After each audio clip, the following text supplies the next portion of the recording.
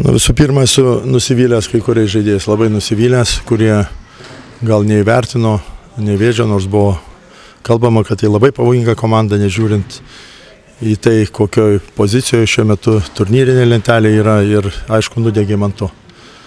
Na, sakyčiau, turėjom problemų gynyboje, aišku. E, mums labai svarbu žaidėją mes e, Trevisą Petersoną vakar treniruotėjai netekom jo ir praradome ir, ir jisai mums yra tikrai labai svarbus mūsų komandai ir matyt, vat, šios kėlės mes negalėjom užkišti.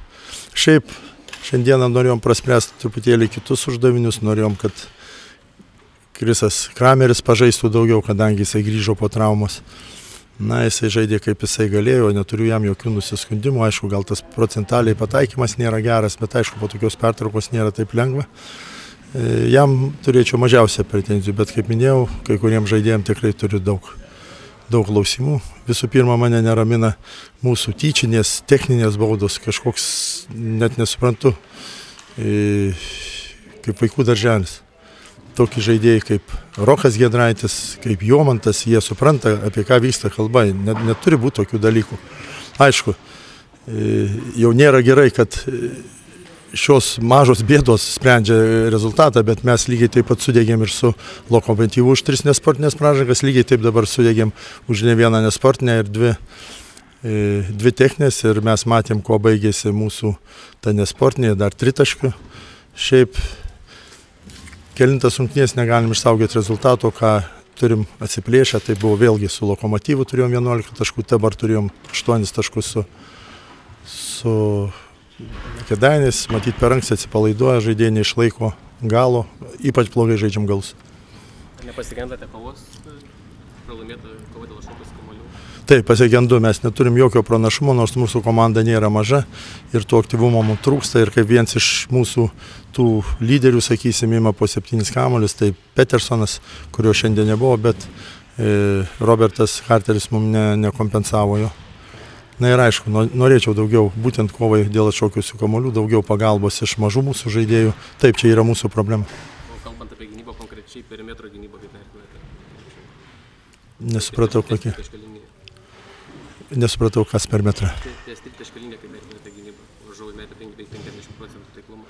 Taip, mes žinom, kad kad kėdainiai naudoja šitą ginklą, jų yra pagrindas mėtyti tritaškius. Taip, jie pataikė, jie pataikanti komanda.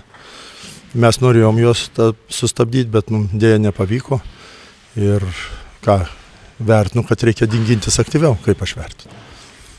Ir Luko makro, e, Mafro kefalidžio svarba puolime, nes šiandien išmetė 17 metimų, kas tikrai nemažas skaičius Europoje.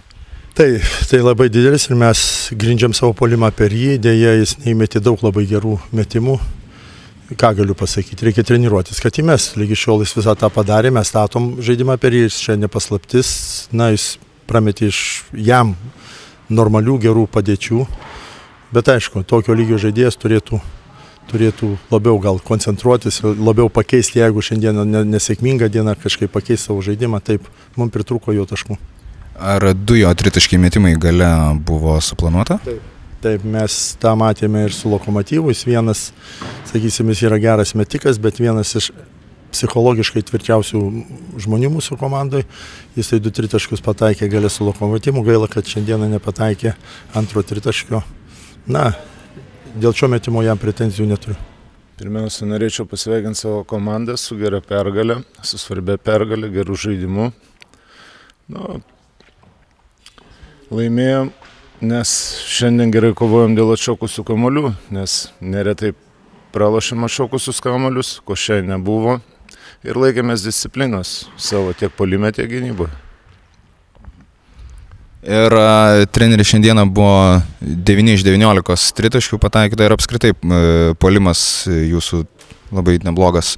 E, tai lėmė bloga Lietuvos ryto gynyba ar a, tiesiog jūsų diena buvo? Nu, nemanau, nes mes turim įmetančių žmonių iš, iš perimetro, yra deriniai tam skirti. Kas laisvi metai visą laiką sakau, laisvi turi mesti, drąsiai mes, nes yra pataikantys žmonės ir manau kažkur gal rytas surizikavo, kažkur kažkiek tai klaidelių padarė, bet įsimetėm savo metimus ir buvo geras pataikymas. O Lietuvos rytas nustebino kažkuo šiandieną, ar tam, kam ruošėtės, tą ir gavot?